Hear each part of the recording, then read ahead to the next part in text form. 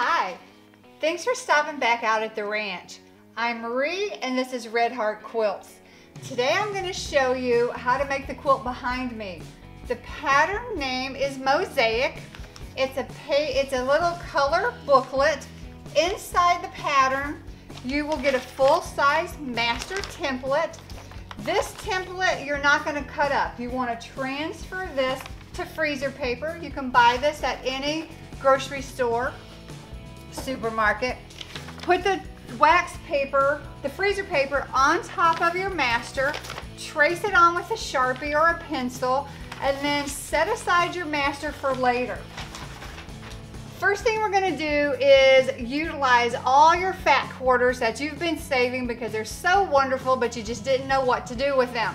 We probably all have a few stacks of those. You see them in the market and they're so beautiful. Well, this is a great way to use up a lot of fat quarters. The size behind me is using 20 fat quarters and you'll notice it makes its own border. When you start with cutting, you always want to press your fat quarters. Then you want to stack them right side up or right side down as long as they're all stacked the same direction. Stack as many as you're comfortable cutting through. If you're comfortable with five or six, stack up that many and cut them at the same time. You want to press your pattern to your fat quarters. You can see how it just sticks right on there. The wax from the freezer paper makes that stick. Trim around your square and then cut out piece one, then piece two, then piece three. After you cut them, stack them back on your master template. And you can see how I've stacked these on so that I can keep them in order. It's really easy to get these turned around if you don't keep them in order. The pattern also tells you where to cut and also where to sash. So once we have all of our fat quarters cut, stacked back on our master pattern, we're gonna cut our sashing. It's one inch strips and the pattern will tell you how many of these you need for what size quilt you're gonna make.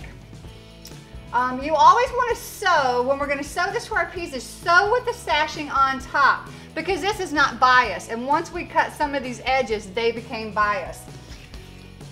You can get, you're not to sew any sashing to piece four. You're to sew sashing to piece one, two, and three. And one, two, and three will all fit on one 42 inch piece of sashing. You'll notice that I left a space between the pieces. You have to do that. You can't just put them right next to each other because we're going to trim these. We're going to trim it the angle of the piece. So we have to have this space here. You'll see this here. See how this is trimmed? We took our ruler, we put it right on the piece, and we trimmed right through the sashing. You're gonna do that with all the pieces, all one piece, two piece, and three piece. Once we get those all cut, we're gonna start sewing them together. Now remember when we cut, we cut piece one first, set it aside, cut two piece two, set it aside, cut piece three, set it aside, back on our master template. We're gonna start sewing piece three to four, just like this. And again, you lay it on top, sew on your sashing line, not your, um, don't have your piece on top, have your sashing on top. So this is piece four, piece three. We've sewn those two together. The next step is sewing piece two, four, three. Now we've sewn piece two onto these. We're almost done. Of course, now we have piece one, piece four, piece three, piece two, and we've added piece one. Our block is now complete.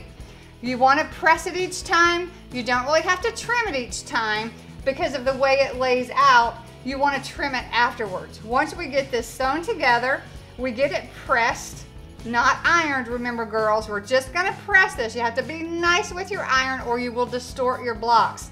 Just simply press it. And you'll see on the back how your seam allowance fits right in there. Because this is a one inch strip, you're gonna do a quarter inch seam allowance so the, the press is really nice on the back. I have a little dog ear here I see that I did not cut off. You can trim those dog ears. Once we get these all together, you're going to sash them. Again, we're gonna take our one inch strip and the pattern has told us how many of these to cut. We're gonna sew them on the edges here first on all of our rows. You can turn this block any way you want to.